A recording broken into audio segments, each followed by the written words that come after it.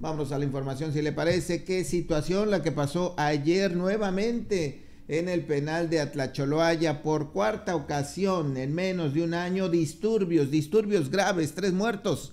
Deja toda esta situación ocurrida la tarde de ayer. De acuerdo con la información eh, que disponemos, fue una fuga, fuga de internos en un camión de basura una situación verdaderamente sorprendente la que se da ayer, eh, que dejó, le digo, como resultado tres muertos y once lesionados. ¿Qué estaba pasando? Eh, en redes sociales empezó a, hacerse eh, llamados, a hacerse denuncias, se empezaron a publicar videos de lo que estaba pasando, videos, balazos eh, toda esta situación eh, se estaba generando dentro del penal. Más tarde, la Comisión Estatal de Seguridad Pública informó que eh, la tarde de este jueves se registró la fuga. Así lo dice, la fuga de personas privadas de la libertad en el Centro de Reinserción Social Morelos, ubicado en el poblado de Atlacholoaya, ahí en Xochitepec.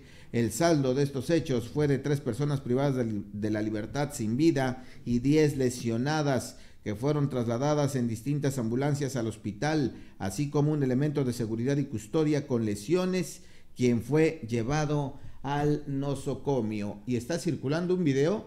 Este vehículo, este camión recolector de basura, fue en el que iban los presos. Mire, aquí está el video. Lo vamos a dejar por su importancia periodística. Es justo en el momento en que este camión sale del penal.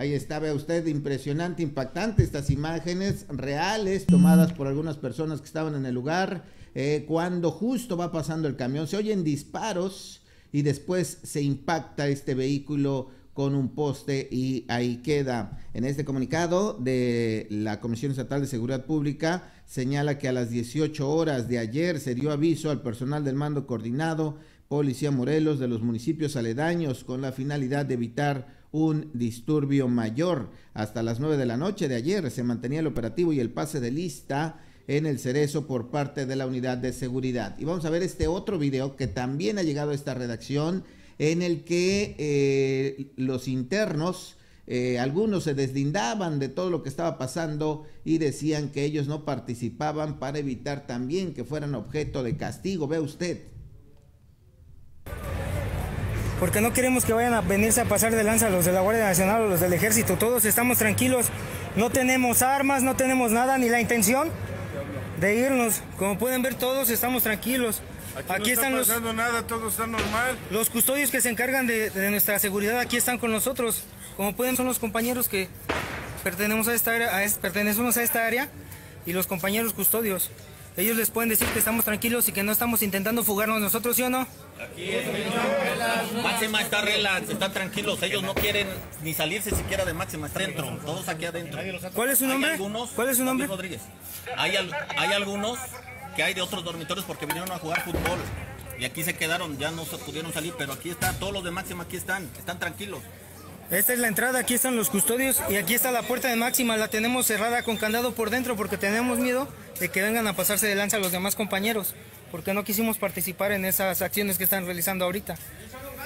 Entonces nada más es lo que pedimos, que nos respeten, que respeten nuestros derechos, porque como pueden ver nosotros estamos tranquilos, espantados por lo que está ocurriendo, pero hasta ahí. Ve usted lo que está pasando. Este video, le insisto, llegó a nuestra redacción. También está circulando en las redes, en donde los internos del área de máxima seguridad prácticamente se deslindan y se oyen los disparos de arma de fuego mientras están grabando este video, en donde, pues ahí, incluso haciéndole al reportero, le preguntan a uno de los custodios y ya escuchó usted el testimonio de lo que ahí pasó. Una situación verdaderamente complicada, difícil, la que se vivió hasta la noche de ayer eh, le decía yo que en el pase de lista que se hizo el día de ayer, bueno, pues todavía no se daban detalles de quiénes habrían sido los que intentaron fugarse, cuántos lo lograron. El comunicado dice, habla de una fuga, no precisa si eh, consiguieron evadirse eh, algunos reos. Se habla de que eran 20 los que iban en este camión de basura que intentaron escapar cuando habrían sido descubiertos por los custodios que dispararon al vehículo. Eh, por ello el vehículo pues choca, se va sobre el camellón y ahí queda. Toda esta situación eh, causó una emergencia, una movilización extraordinaria. Eh, le digo que era la cuarta ocasión. En octubre hubo dos amotinamientos, en noviembre hubo uno más y ahora esta este intento de fuga. Insisto, no se han dado a conocer los detalles de quienes intentaron eh, salir y si realmente lo lograron. Eh, la Comisión Estatal de Seguridad Pública dice fuga, así dice el comunicado, fuga de reos, lo que presumiría que sí habrían escapado. Ya más tarde, eh, los servicios de salud en Morelos informaron que hay ocho personas privadas de la libertad con lesiones por arma de fuego y armas blancas. Seis se encuentran fuera de peligro y dos más están graves. Los lesionados son David, Julio César, Eder, Arturo, Heriberto, Jonathan, Oscar y Gilberto.